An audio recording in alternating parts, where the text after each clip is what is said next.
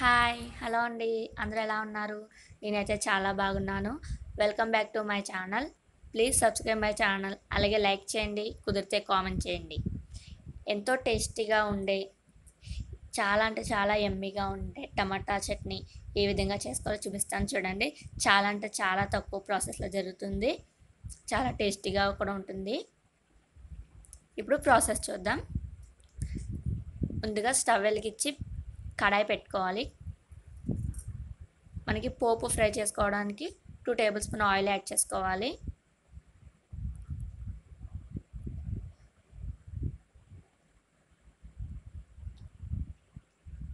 Oil బాగా heat చేసుకోవాలి.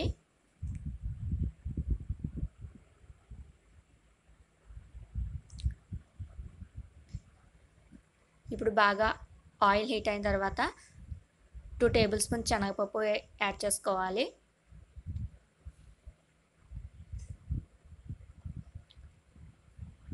Medium ఫ్లేమ్లో పెట్టుకుని ఫ్రై చేసుకుంటే మనకు దోరగా వేగుతాయి. అదేవిధంగా మళ్ళీ ఇందులో ఒక స్పూన్ సాయి మినపప్పు యాడ్ చేసుకోవాలి.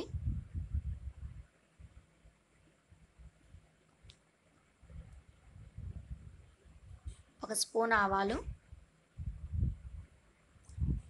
అదేవిధంగా ఒక స్పూన్ జీలకర్ర.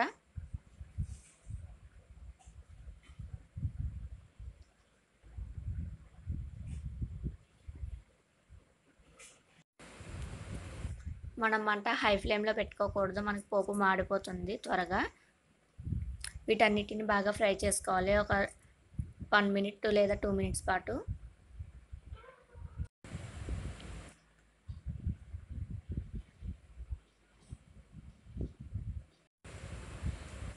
వీటిని విధంగా ఫ్రై చేసుకున్న తర్వాత ఇప్పుడు ఇందులో వెల్లుల్లి రబ్బలు చితక్కొట్టుకొని వేసుకోవాలి.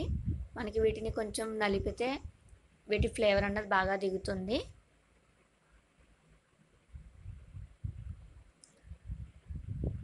వీటిని బాగా దోరగా ఫ్రై చేసుకోవాలి.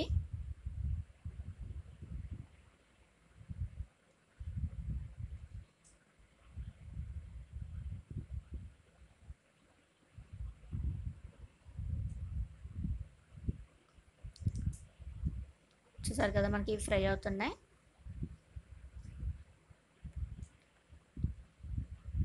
మనకి అడుగు మందంగా ఉండే గిన్నె అయితే బాగుంటుంది మొత్తం ఫ్రై అవడానికి.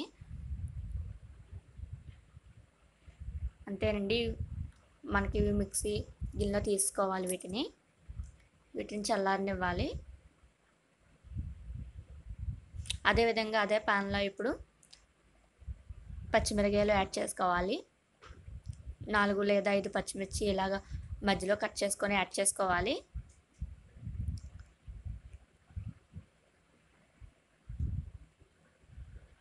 వీటిని కూడా బాగా ఫ్రై చేసుకోవాలి. మనకి ఎండుమిర్చి అయినా యాడ్ చేసుకోవచ్చు. ఎండుమిర్చి యాడ్ చేస్తే టేస్ట్ మొత్తం మారిపోతుంది.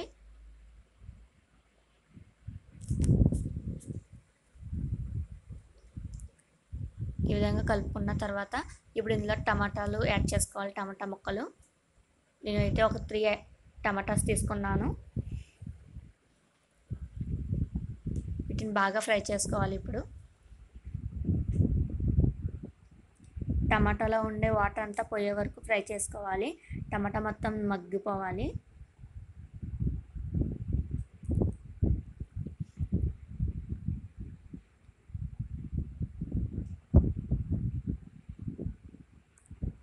చూసారు కదా మనకు టమాటాలో వాటర్ అంతా బయటకు వచ్చేస్తుంది. ఈ స్టేజ్లో మనకి హై ఫ్లేమ్లో పెట్టుకొని బాగా ఫ్రై చేసుకుంటే ఇంకా బాగా కుక్ అవుతుంది.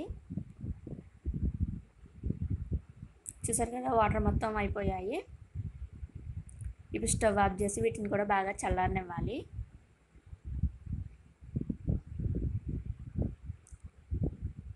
మనకి ఉడికిందా లేదా చూసుకుంటూ దగ్గరుంటూ చూసుకోవాలి.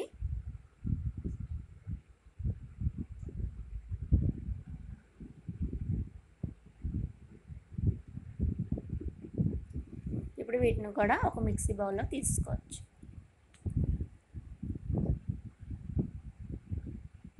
వీటన్నిటిని పూర్తిగా చల్లారిన తర్వాత ఇందులో చిన్న బెల్లం ముక్క. ఈ బెల్లం యాడ్ చేయడం వల్ల మనకి టమాటా స్మెల్ అనేది బ్యాడ్ స్మెల్ రాకుండా బాగుంటుంది. అదే అలాగే ఒక చింతపిక్క ఒక స్పూన్ ఉప్పు. ఉప్పు ప్లేస్లో సాల్ట్ కూడా యూజ్ చేసుకోవచ్చు. వీటిని మెత్తగా గ్రైండ్ చేసుకోవాలండి.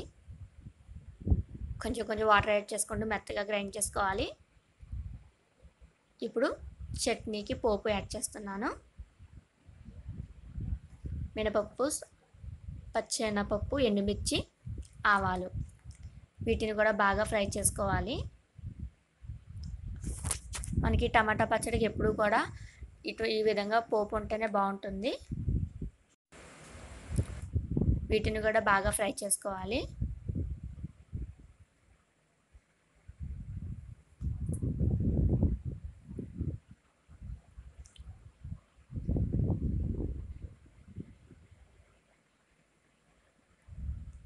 చూసారు కదా బాగా ఫ్రై అయ్యి ఇప్పుడు స్టవ్ ఆఫ్ చేసుకొని చట్నీలో యాడ్ చేసుకుందాం.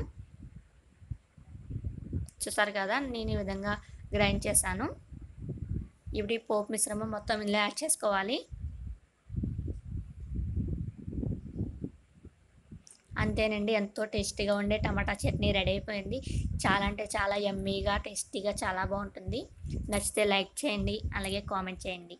నా ఛానల్ ఎవరైనా ఫస్ట్ టైం చూస్తున్నట్టయితే సబ్స్క్రైబ్ చేసుకోండి.